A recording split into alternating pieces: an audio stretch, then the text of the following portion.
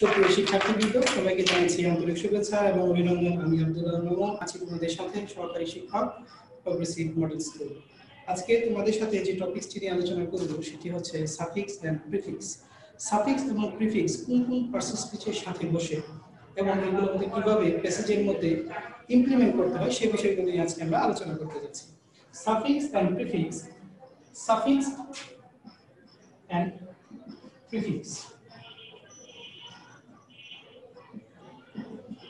suffix এবং প্রিফিক্সের ক্ষেত্রে আমাদের মূলত চারটা পার্সিপিসের উপর বেস করে আমাদেরকে সাফিক্স প্রিফিক্সকে মেইনটেইন করতে হয় তো এই ক্ষেত্রে দেখা যাচ্ছে চারটা পার্সিপিসের মধ্যে আমাদের হচ্ছে এক নম্বর হচ্ছে নাউন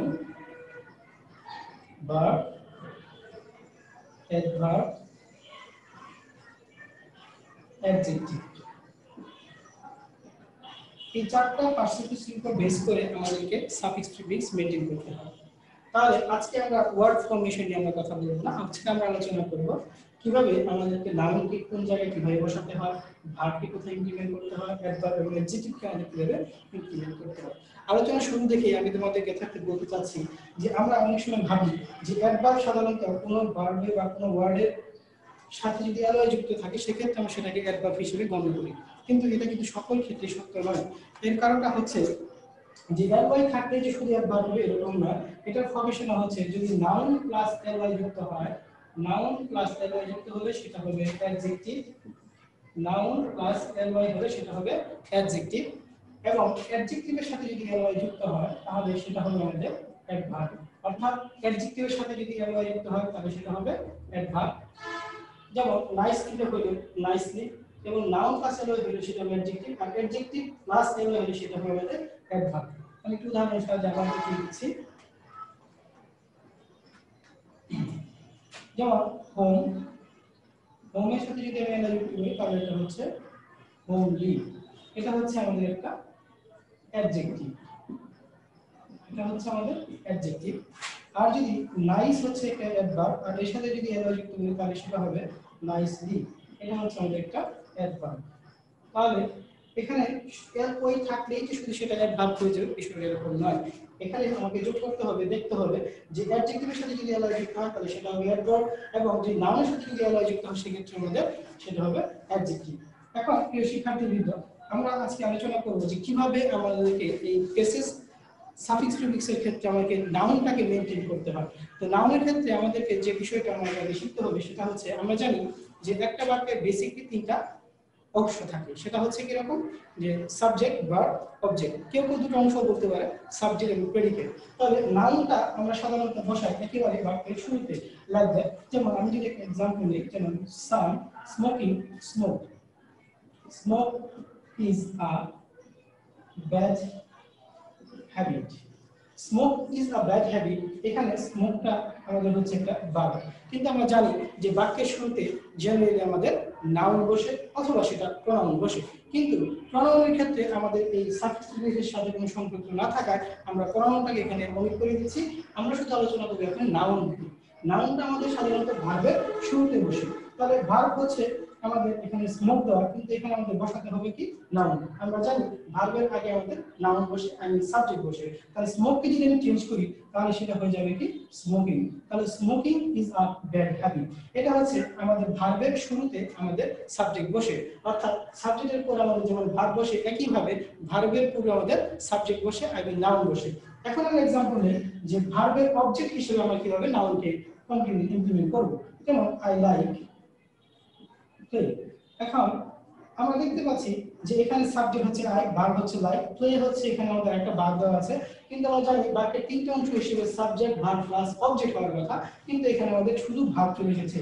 এখন এই ভার্বটাকে যদি আমরা নাউনকে যদি রূপান্তর করতে চাই, তাহলে আমাকে এখানে প্লে থেকে আমাদের যোগ করতে হচ্ছে প্লেইং তাহলে এই অংশ থেকে বোঝা যাচ্ছে যে আমাদের ভার্বের অবজেক্ট হিসেবে আমাদের নাউন বসতে পারে। এছাড়া বসে নাউন বসে প্রিপোজিশনের সাবজেক্ট হিসেবে প্রিপোজিশনের অবজেক্ট হিসেবে আমরা নাউন ব্যবহার করতে পারি। যেমন ধরো we should we should raise awareness, our, among our people we should raise our এখন এখানে দেখতে পাচ্ছি আমরা, আমার হচ্ছে এখানে একটা প্রেপোজিশন বেসিক্যালি আমাদের প্রেপোজিশনের সাথে, অর্থাৎ প্রেপোজিশনের সামনে এবং প্রেপোজিশনের পরে দুটো ক্ষেত্রে আমাদের সাধারণত প্রেপোজিশনের পূর্বে এবং পরে দুটোতেই নাউন বসানো যায়। তাহলে অ্যাওয়ার থেকে আমাদের হচ্ছে অ্যাওয়ারনেস তাহলে এটা হচ্ছে আমাদের একটা নাউন এরপর আমরা দেখি যে এটা হচ্ছে আমাদের কীভাবে প্রেপোজিশনের আমরা নাউন ব্যবহার করলাম। আমরা দেখতে পারব প্রেপোজিশনের পরে আমরা কীভাবে আমরা নাউন ব্যবহার করি। যেমন I like playing football at the time of rain. তাহলে শিক্ষার্থীবৃন্দ, এখানে দেখা যাচ্ছে যে রেইন হচ্ছে আমাদের একটা ভার্ব কিন্তু আমরা জানি প্রেপোজিশনের পরে সাধারণত আমাদের নাউনকে কম্বিনেশন করতে হয়। সে সূত্রে এসে আমাদের নাউন থেকে হচ্ছে রেইন থেকে হচ্ছে আমাদের রেইন তাহলে আমরা পেলাম প্রিপোজিশনের সাবজেক্ট হিসেবে আমাদের নাউন বসে প্রিপোজিশনের অবজেক্ট হিসেবে আমাদের নাউন বসে। এখন আমরা শিখব যে কীভাবে পজিটিভের পর আমাদেরকে নাউন কীভাবে ইমপ্লিমেন্ট করতে হয়। সাধারণত আমাদের বেশ কয়েকটা জায়গায় আমাদের নাউন বসে তার মধ্যে আমরা আলোচনা করে ফেলেছি অলরেডি যে সাবজেক্ট হিসেবে আমাদের নাউন বসতে পারে অবজেক্ট হিসেবে আমাদের নাউন বসতে পারে। আমি ভার্বের সাবজেক্ট ভার্বের অবজেক্ট প্রিপোজিশনের সাবজেক্ট প্রিপোজিশনের অবজেক্ট এখন আমরা জানব পজিটিভের অবজেক্ট হিসেবে বা পজিটিভের অবজেক্ট হিসেবে আমরা কীভাবে নাউনটাকে আমরা ব্যবহার করি? যেমন আমরা যদি বলি, তাদের দুঃখ। তো তাদের দুঃখ যদি আমরা ইংরেজি করতে যাই, তাহলে হচ্ছে দেয়ার সাফার এখন দেয়ার সাফার সাফারটা হচ্ছে এখানে আমাদের একটা ভার্ব কিন্তু দেয়ারটা হচ্ছে এখানে আমাদের একটা পজিটিভ ফর্ম তাহলে পজিটিভের ক্ষেত্রে যত যত পজিটিভ রয়েছে, প্রত্যেকটি পজিটিভের করে আমাদের নাউন বসে। যেমন আমরা যদি বলি, আমাদের বই বা আমার বই তাহলে সেক্ষেত্রে আমি নিজে করছি কি? মাই বুক যেমন বুকটা হচ্ছে এখানে আমাদের একটা নাউন ঠিক একইভাবে এই দেয়ার হচ্ছে আমাদের একটা পজিটিভ অ্যাডজেক্টিভ আর পজিটিভ অ্যাডজেক্টিভের পরে সবসময় নাউন বসবে। কিন্তু এখানে আমাদের দেওয়া হচ্ছে কি সাফার হচ্ছে এখানে আমাদের একটা ভার্ব তো সাফার থেকে আমরা যোগ করে দিতে হচ্ছে কি সাফারিং আর এভাবে আমরা সাবজেক্ট বা ভার্বের সাবজেক্ট হিসেবে আমরা নাউন ব্যবহার করতে পারি ভার্বের অবজেক্ট হিসেবে নাউন ব্যবহার করতে পারি প্রিপোজিশনের সাবজেক্ট হিসেবে নাউন ব্যবহার করতে পারি প্রিপোজিশনের অবজেক্ট হিসেবে নাউন ব্যবহার করতে পারি, এবং পজিটিভের অবজেক্ট হিসেবে আমরা নাউন ব্যবহার করতে পারি। এছাড়া আমাদের যদি একটি মাত্র শব্দ যদি থাকে। এবং তারপরে যদি আমাদের যদি আর্টিকেল থাকে আর্টিকেলের পরে যদি একটি মাত্র শব্দ থাকে, তাহলে সেখানেও আমরা নাউন ব্যবহার করব। যেমন যদি বলা হয়, a governor a governor can do can do anything, a government can do anything for the welfare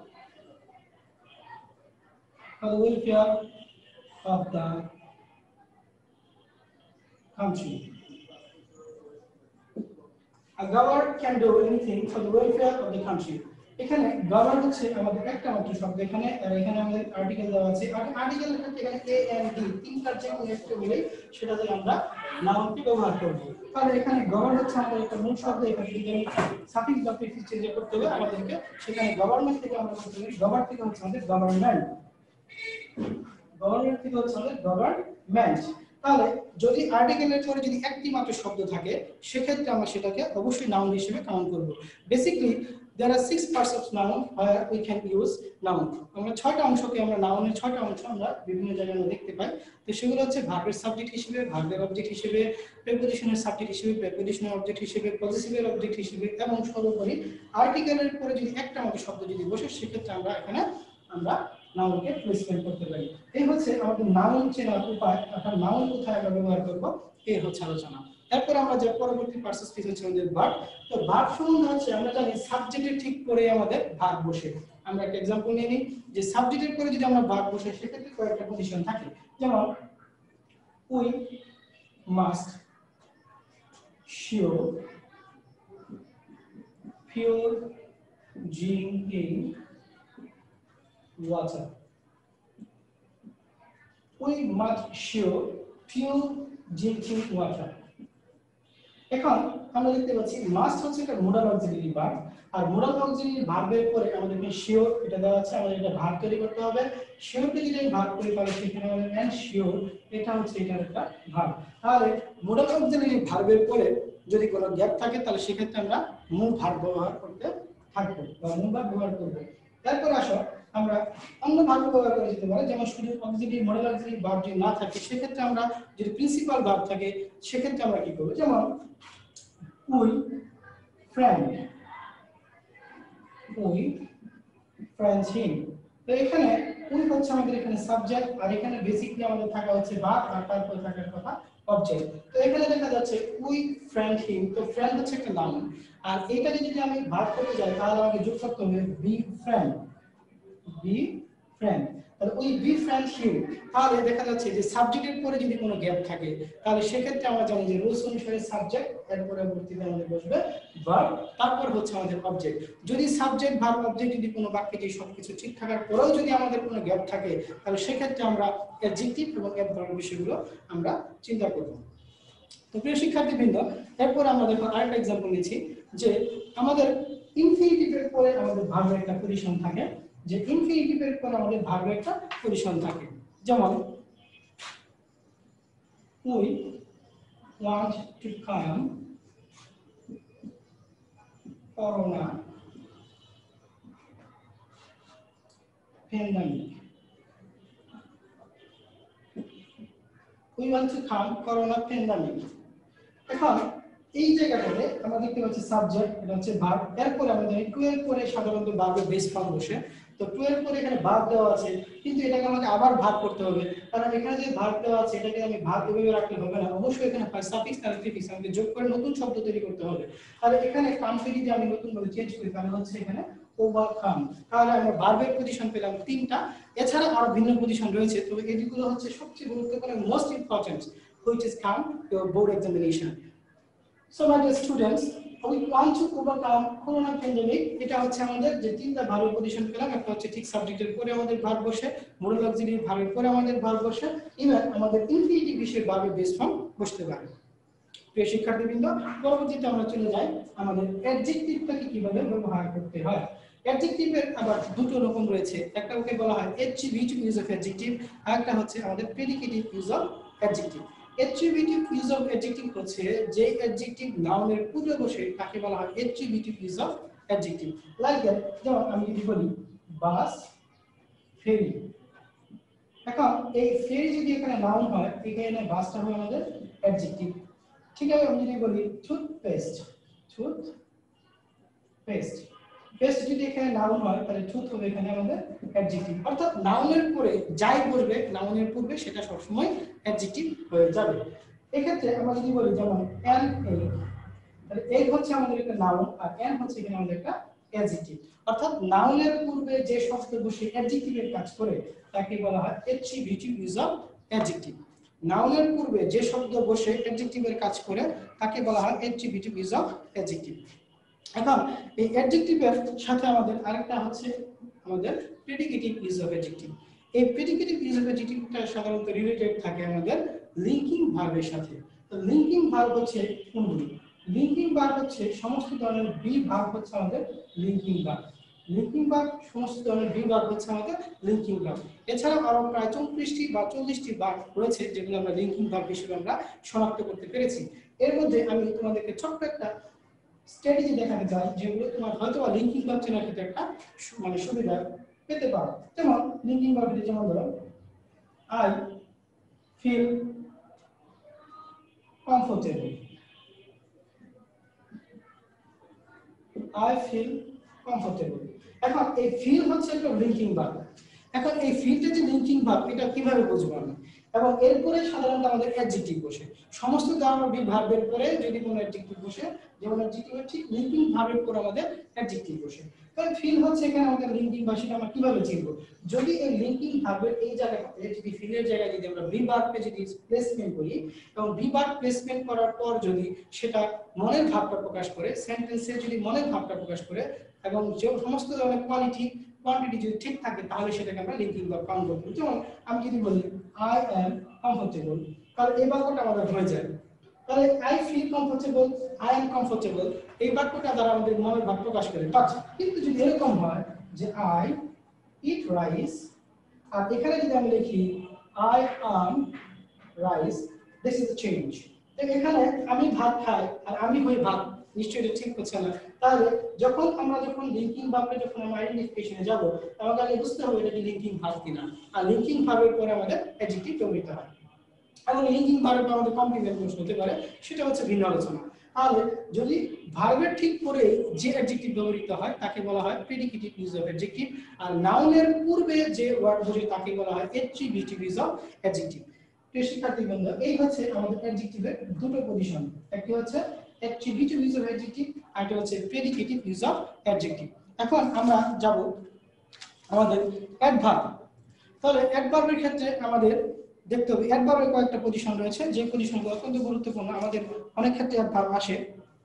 যেমন অ্যাডভার্বের আমাদের চারটা পজিশন থাকে জেনারেলি চারটা পজিশন নিয়ে আমরা আলোচনা করব। আর যতগুলো রোলস এখানে বলছি আজকে যে আলোচনাটা আমরা করছি, এটা হচ্ছে আমাদের যে placement of person speech in suffix and prefixes যে আমরা পার্সন স্পিচে কীভাবে আমরা আমাদের এই এই বাব্যিক যেগুলো আছে মানে পার্সন স্পিচ যেগুলো রয়েছে, সেগুলো আমরা কীভাবে আমরা বুঝতে পারব যে এখানে নাউন বসবে, এখানে ভাগ বসবে, এখানে অ্যাডজেক্টিভ এবং এই জায়গাটা আমাদের অ্যাডভার্ব এই প্লেসমেন্টটা বোঝানোর জন্য আজকে ক্লাস আজকে কীভাবে ওয়ার্ড ফর্মেশন করতে হয় ওয়ার্ড ফরমেশনে আমি কোনো আলোচনা যেতে চাচ্ছি না, কেননা ওয়ার্ড ফরমেশন ক্ষেত্রে আমাদের সাধারণত বেশিরভাগ ক্ষেত্রে এটা আমাদের মেমোরাইজিং করতে হয়। ইভেন কি আমরা মডেল থেকে সেটা সাহায্য নিতে পারি বা প্রেসক্রাইব বুক থেকে আমরা সাহায্য সহযোগিতা নিতে পারি। কিন্তু আইডেন্টিফিকেশনের ক্ষেত্রে যে এখানে কি আদৌ ভাগ বসবে কিনা, এখানে কি নাউন বসবে কিনা এটা আমাদের জানাটা জরুরি এবং এটা শুধু সাফিক্স প্রিফিক্সের জন্যই নয়, এটা আমাদের quiz clue other clue right form verbs এইগুলো বিভিন্ন ক্ষেত্রে আমাদের এই পার্সেস বিষয়গুলো আমাদেরকে বিভিন্নভাবে সহযোগিতা করে থাকে। তাই আজকের আলোচনা থেকে আমি আশা করব যে তোমরা এই বিষয়গুলো কিছু না কিছু হলেও জানতে পারবে। এখন দেখো, আমরা অ্যাডভার্বের ক্ষেত্রে আমরা দেখি কীভাবে আমাদেরকে এ করতে হয়। যেমন ধরো, আমরা অ্যাডভার্বের ক্ষেত্রে আমরা কীভাবে আইডেন্টিফিকেশনটা করব? যেমন দ্য গভর্নমেন্ট যেমন করোনা थोड़ा vaccine has been launched immediately. Dear students, corona vaccine has been launched immediate এখানে করোনা ভ্যাকসিনকে যে চালু করা হয়েছে, এটা ইমিডিয়েট এটা হচ্ছে কি বাক্যের সবার লাস্টের অংশ। সাবজেক্ট ভাব অবজেক্ট সব ঠিক থাকা সত্ত্বেও একেবারে বাক্যের লাস্টের একটা শব্দ এখানে আমাদের ব্রেকেট দেওয়া হয়েছে ইমিডিয়েট এখন ইমিডিয়েট এটা হচ্ছে একটা অ্যাডজেক্টিভ আর আমরা যদি এটা একার ভাগ করতে হবে, সেটা হচ্ছে ইমিডিয়েটলি তাহলে আমরা দেখতে পাচ্ছি যে আমাদের একেবারে বাক্যের শুরুতে আমাদের অ্যাডভার্ব ব্যবহৃত হয়। একইভাবে আমরা আরও এক্সাম্পল নিতে পারি, যা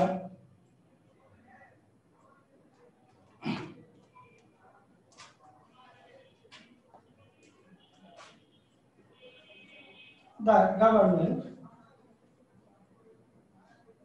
the government has ready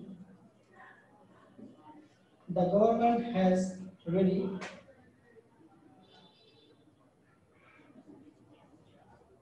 launched corona vaccine. The government has already launched corona vaccine the government has তো এখানে লঞ্চড হচ্ছে একটা প্রিন্সিপাল বা আর হ্যাজ হচ্ছে এখানে একটা ফাইনালি সরি হ্যাজ হচ্ছে এখানে একটা ভ্যাব বার বা আমরা বলতে পারি একটা অক্সিলারি বার তাহলে অক্সিলারি বার এবং প্রিন্সিপাল ভার্বের মাঝখানে আমাদেরকে অ্যাড ভার্বকে প্লেসমেন্ট করতে হয়। যদি কখনো কোনো সাফিক্স প্রিফিক্সে তোমরা এই ধরনের গ্যাপ পাও যে অক্সিলারি বার এবং প্রিন্সিপাল ভার্বের মাঝখানে কোনো গ্যাপ আছে, সেক্ষেত্রে আমরা অবশ্যই সেখানে অ্যাড ভার্বটাকে কম্বিনেশন করে নেব। তাহলে রেডি থেকে হচ্ছে আমাদের অলরেডি আর এভাবে আমরা অক্সিলারি ভার্ব এবং প্রিন্সিপাল ভার্বের মাঝখানে একটা পজিশন পেলাম, যেখানে আমরা অবশ্যই আমরা অ্যাড ভার্ব ব্যবহার করতে পারি। এরপর আসো, আমাদের ঠিক অক্সিলারি ভার্বের পরে আমাদের অ্যাডভার্ব বসতে পারে যেমন women a general general fond of gold. Women general forms of gold তাহলে এখানে আমাদের এখানে হচ্ছে একটা অক্সিলারি ভার্ব এখানে আমাদের হচ্ছে জেনারেল তো জেনারেল হচ্ছে এখানে জেনারেল থেকে আমাদের বেসিক এখানে হয়ে যাবে আমাদের জেনারেলি তাহলে আমরা পেলাম একেবারে বাক্যের শেষে আমাদের অক্সিলারি ভার্বের সরি আমাদের একেবারে বাক্যের শেষে অ্যাডভার্ব বসতে পারে। আমাদের অক্সিলারি ভার্ব এবং প্রিন্সিপাল ভার্বের মাঝখানে অ্যাডভার্ব বসতে পারে।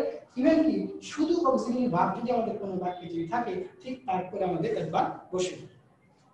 এখন আমরা আরেকটা এক্সাম্পল নিয়ে নিচ্ছি, যে একেবারে বাক্যের শুরুতে আমাদের অনেক সময় বাক্য বসতে পারে। যেমন recent recent loadshedding becomes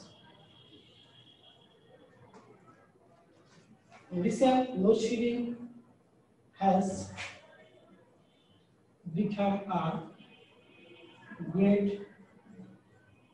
problem. তো এখানে আমরা দেখতে পাচ্ছি একেবারে বাক্যের শুরুতে রিসেন্ট আর রিসেন্ট থেকে হয়ে যাবে এখানে রিসেন্টলি তাহলে আমরা যদি এই আলোচনার মাধ্যমে চারটা অ্যাডভার্ব পেয়েছি, চারটা পজিশন পেয়েছি একটা হচ্ছে একেবারে বাক্যের শুরুতে, একটা হচ্ছে অক্সিলিয়ারি ভার্ব এবং প্রিন্সিপাল ভার্বের মাঝখানে, একটা হচ্ছে অক্সিলিয়ারি ভার্বের ঠিক পরে আরেকটা হচ্ছে আমাদের একেবারে বাক্যের শুরুতে। এছাড়া আরেকটা অ্যাডভার্বের পজিশন রয়েছে, যেটা শুধুমাত্র আমাদের আরেকটা অ্যাডভার্ব হচ্ছে একেবারে প্রিন্সিপাল ভার্বের পূর্বে আমাদের অ্যাডভার্ব বসতে পারে। যেমন, he generally he generally goes to school daily. এখানে জেনারেল থেকে জেনারেলি আমাদের খেয়াল করতে হবে যে অক্সিলিয়ারি ভার্বের পরে অ্যাডভার্ব বসে, কিন্তু প্রিন্সিপাল ভার্বের শুরুতে মানে প্রিন্সিপাল ভার্বের পূর্বে আমাদের এক অ্যাডভার্ব বসে। তাহলে স্টুডেন্টস আমরা যেটা পেলাম সেটা হচ্ছে নাউনের বেশ কয়েকটা আমরা পজিশন পেয়েছি, যেখানে আমরা নাউনকে ইমপ্লিমেন্ট করব। ভার্বের কিছু পজিশন পেলাম অ্যাডজেক্টিভের কিছু পজিশন পেলাম অ্যাডভার্বের কিছু পজিশন পেলাম। এইগুলো দিয়ে আমাদের সাধারণত বিভিন্ন পার্সেস পিসের মাধ্যমে আমরা বিভিন্ন কিছু আমরা সলভ করতে পারি। এখন এই ক্লাস থেকে আমরা যেটা আমি আমি আলোচনা করে তোমাদেরকে বোঝাতে চেয়েছি সেটা হচ্ছে যে আমরা কোথায় কোন পার্সেস পিসটাকে আমরা ব্যবহার করব। আমরা অনেক সময় দেখা যায় যে আমরা যদি পরিচিত শব্দ থাকে, সেক্ষেত্রে আমরা জানি সেক্ষেত্রে শুধুমাত্র আমরা পরিচিত শব্দগুলো বসাই, কিন্তু এটা কি হিসেবে বসছে? সেটা কি ভার হিসেবে বসতো না নাউন হিসেবে বসতো না অ্যাডজেক্টিভ হিসেবে বসতো না অ্যাডভার্ব হিসেবে বসতো সেটা হচ্ছে আমাদের আমার প্রশ্ন হচ্ছে, সেটা তোমাদেরকে মূলত বোঝানোর চেষ্টা করেছি। এই ক্লাসটাকে এখন আমরা দেখি একটা সেন্টেন্সের জেনারেল স্ট্রাকচারটা কি? যেমন একটা সেন্টেন্সের জেনারেল স্ট্রাকচারটা হচ্ছে, যেমন he is a very good boy একটা বাক্যের জেনারেল স্ট্রাকচারটা এরকম থাকে যে বাক্যের শেষে আমাদের যদি আমরা এরকম নাউন থাকে নাউনের আগেটা হয়ে যায় অ্যাডজেক্টিভ এবং অ্যাডজেক্টিভের আগেটা হয়ে যায় আমাদের অ্যাডভার্ব অর্থাৎ এর আগে বসে আমাদের আর্টিকেল তাহলে এখানে দেখা যাচ্ছে আর্টিকেলের পরে বসে অ্যাডভার্ব অ্যাডভার্বের পরে বসে অ্যাডজেক্টিভ অ্যাডজেক্টিভের পরে বসে আমাদের নাউন তাহলে যদি কোনো বাক্যের শেষে এরকম থাকে, যেমন লাক্সারি লাক্সারি লাইফ তাহলে এখন আমরা যদি একটু খেয়াল করি যেখানে লাইফ হচ্ছে আমাদের এখানে একটা নাউন আর এখানে লাক্সারি এখানে আছে এখানে একটা আমাদের একটা নাউন তো লাক্সারিকে যদি আমরা, এটাকে যদি আমাদের নিয়ম মাফিক আমাদের লাইফের পরিবে মানে নাউন যদি থাকে নাউন আগে শব্দটা হয়ে যাবে অ্যাডজেক্টিভ ঠিক এরকম। যেমন ভয় হচ্ছে এখানে আমাদের নাউন ভয়ের আগে হবে আমাদের অ্যাডজেক্টিভ তাহলে লাইফ যদি আমাদের নাউন হয় লাক্সারি আমাদের অ্যাডজেক্টিভ এখন এই লাক্সারি থেকে হয়ে যাবে লাক্সারিয়াস কিন্তু এখানে লাক্সারিয়াস যে হচ্ছে এর কারণটা হচ্ছে নাউনের পূর্বে অ্যাডজেক্টিভ ব্যবহার করতে হয়। তাহলে শিক্ষার্থীবৃন্দ, যে আমাকে বুঝতে হবে যে নাউনের পূর্বে অ্যাডজেক্টিভ বসে অ্যাডজেক্টিভের পূর্বে ভার্ব বসে। এই বিষয়গুলো আমাদেরকে সন্নিবেশ করার জন্য আজকের ক্লাস এখন প্রশ্ন হচ্ছে যে লাক্সারি থেকে যে লাক্সারিয়াস বানাতে হবে, এই ফরমেশনটা তোমাদেরকে শিখতে হবে। এই ফরমেশনটা তোমরা বিভিন্ন বই থেকে নিয়ে নিবে, বিভিন্ন বই থেকে শেখার চেষ্টা করবে। আজকের আলোচনার বিষয় শুরু যে কীভাবে আমরা পার্সেল স্পিচগুলো আমাদের প্রেসেস সাফিক্স প্রিফিক্সের ক্ষেত্রে বা উইথফুল বা উইদাউটফুল ক্ষেত্রে আমরা কীভাবে এগুলো প্রয়োগ করব, সেই বিষয়টা ছিল আজকে আমাদের এই সাফিক্স আমার ছিল মূল আলোচনা। আমি আশা করব তোমরা এই ক্লাস থেকে কিছু না কিছু উপকার অবশ্যই পাবে। পরবর্তী ক্লাসে তোমাদের জন্য আবার স্বাগতম এবং সুস্থতা, সৎ এবং সততার সাথে তোমাদের জীবনকে উজ্জ্বল ভবিষ্যতে নিয়ে যাওয়ার দৃঢ় প্রত্যয়ে তোমরা এগিয়ে যাও, সেই প্রত্যাশায় আমি মামুন। আজকে তোমাদের ক্লাস থেকে বিদায় নিচ্ছি। দেখা হবে ইনশাআল্লাহ। ভালো থাকো, সুস্থ থাকো। আল্লাহ হাফেজ।